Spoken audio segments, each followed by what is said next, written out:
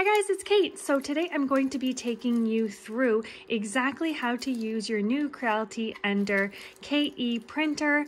I purchased this printer myself off of Amazon. I really like it so far. I think it's a great beginner printer and I'm going to show you exactly what you need to do in order to get a print like this on your printer. It's really easy to get started with the printer. I'll show you exactly how to find a file like this, download it, slice it, and then print it.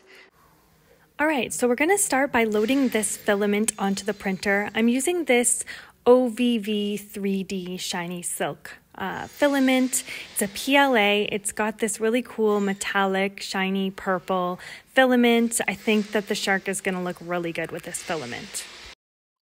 So I'll just start by adding this spool onto the spool holder here, and then I'm going to insert the filament into this filament detector here.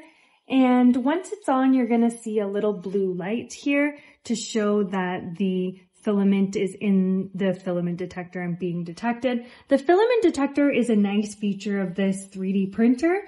Uh, if you run out of filament or if there's an issue, breakage of your filament, then it will stop printing and allow you a chance to replace the filament so you don't waste the whole print. So once we have done that, we're going to bring the filament over and we're going to insert it here into this little gold area here. So you're going to take your filament, press it in, and then pull back with your thumb on this and you should feel it go down about another inch. And now we're ready to heat up the nozzle and extrude a little bit of filament.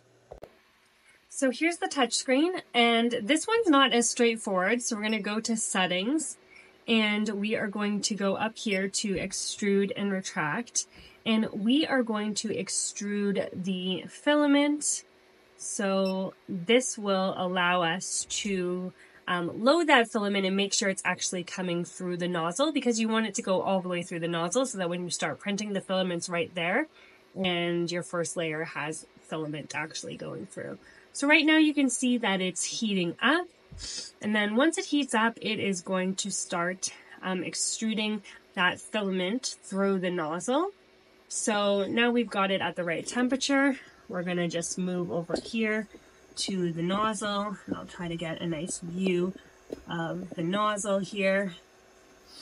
And so now the um, filament will extrude through the nozzle.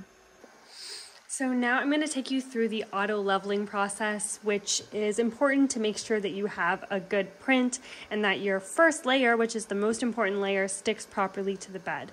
So you're going to want to auto level. When you first turn on the printer, it's going to go through the auto leveling process. But in case you miss that, then what you're going to want to do, I'll just show you up close here.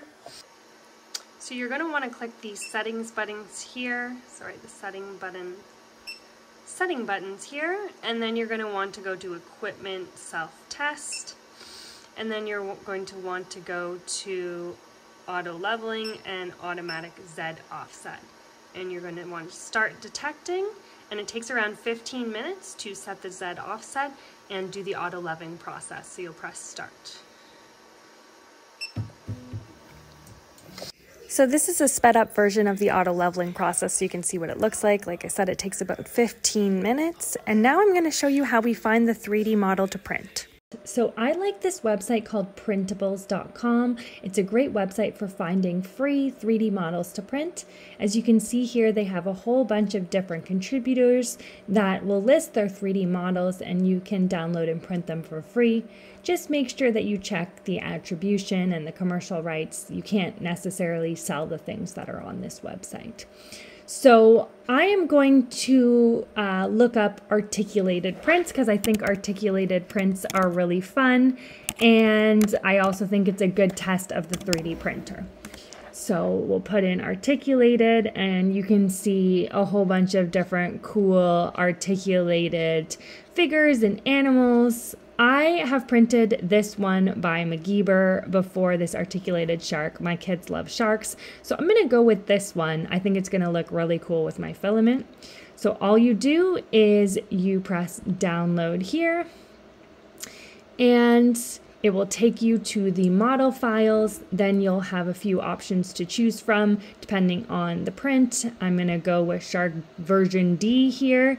And this is going to download an STL file. So now let's take you over to the slicing software going to slice that STL file using our slicing software. So for this printer, we're using the Creality Print slicing software, which is available on their website to download. And so it's actually a very simple software that makes it easy. So what you're going to do is you are going to open file and you're going to find that downloaded STL file, so Shark. I'm going to open it up here and it's going to bring up the file on your virtual print bed. And then what you're going to do is you are going to slice the file. Now you can see here there are two different parameters that are available standard. There's the high quality and the normal quality uh, parameters. I actually have found both to have pretty good printing results. And you can see there's just a slight difference in the layer height between the two. Otherwise, things are actually uh, very similar between these two parameters. Of course, you could go through and create your own parameters if you want to be um, more specific or you're having troubles with your print quality. But for me, I've had good results just using these standards and I will go with the high quality for this one. So then what you're going to do is you're going to press slice and it will start processing your file. What slicing does is it creates a code that your printer will receive that will tell your printer exactly what it needs to do to layer by layer replicate this 3D print. So that's what the slicing software does. So now I'll show you how to send it to your printer. All right, so it's finished slicing and now it's showing a preview here of the model. One thing to note is that this standard setting does include an auto brim, which helps with adhesion, but that's something that as you get more advanced, you may want to adjust over time. What I love about this Creality printer is that it has print over Wi Fi. So you can actually send the file over Wi Fi to your printer. For me, that's a huge advantage. I've had issues with other printers uh, with the USB. So you click on this Wi Fi button and you'll uh, see the print file, and then you'll see your printer over Wi Fi. If you don't see your printer show up, then you can press scan, add, or manual add here.